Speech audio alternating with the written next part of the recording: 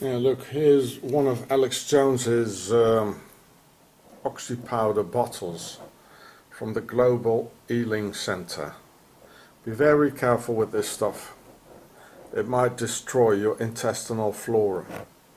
Yeah, look, it's from Houston, Texas. They're all in the same in the uh, the same area. And his doctor, Dr. Group, he's a Freemason. Alex Jones is like pretending against Freemasons and you know the enemy within who are hiding. He was a soldier at Wood Group.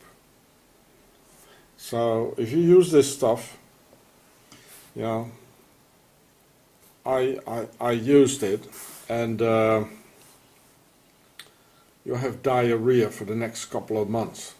It probably destroys the intestinal flora which is very uh, sensitive. You can't just do it, you know, like put Alex Jones's pills in it. If I would have known it was his stuff, I, I would, I would never have taken it. But I was feeling so bad after the Swiss torture in prison, all that, and who knows with what they might have poisoned me. And um, I saw it on the internet, you know, and they they they use the internet so sly, you know, like you know, selling independent personal experiences and well, they're probably publicity, you know, for the company. Very sly.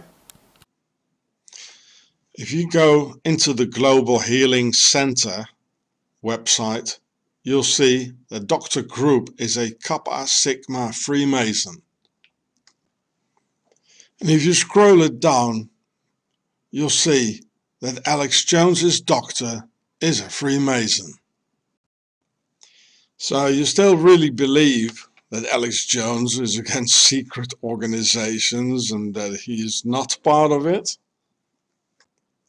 This is what is called controlled oppositions by the Masons and structure of power itself. This film from 2014 will show you more.